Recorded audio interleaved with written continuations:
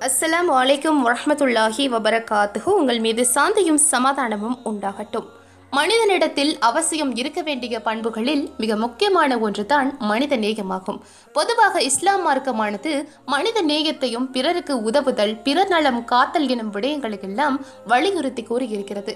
அந்த வகையில் இந்த வருடம் ரமலானிலே அதிகமான மக்கள் உம்ராவுக்கு வருகை தந்தார்கள். இதனை அறிந்த கௌபுதுல்லாவில் இருக்கின்ற பாதுகாப்பு பணியாளர்களின் சேவை எந்த அளவு இருக்கின்றது என்பதைத்தான் நாம் இப்போது பார்த்து கொண்டிருக்கிறோம்.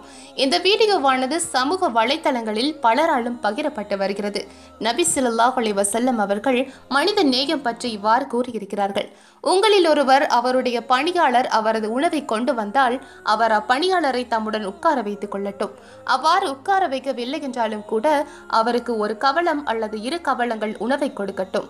ஏனெனில் அப்பணியாளர் அதை தயாரிக்க பாடுபட்டிருப்பார் என்றார்கள். ஆதாரம் புகாரி.